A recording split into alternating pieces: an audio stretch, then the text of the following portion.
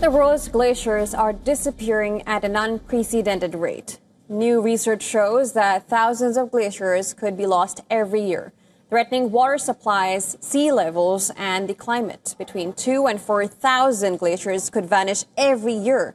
According to a new study in the Nature of Climate Change, the number of glaciers lost depends on how much the world warms above pre-industrial levels. The planet has already lost more than 7 trillion tons of ice from mountain glaciers since the year 2000.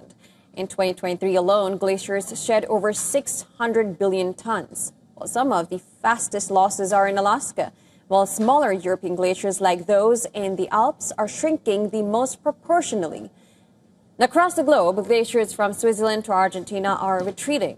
In Switzerland, holes are forming in glaciers like the Rhone, caused by melting and shifting ice.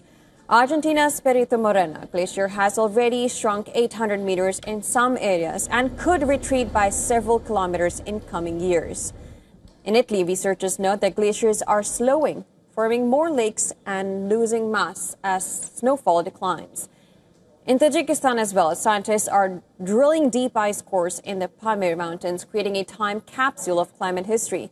The ice holds records of rainfall, volcanic eruptions, and human impacts over thousands of years. But melting now threatens this vital archive. From the Alps to the Pamirs glaciers that are vanishing faster than ever, leaving communities and rivers and ecosystems at risk.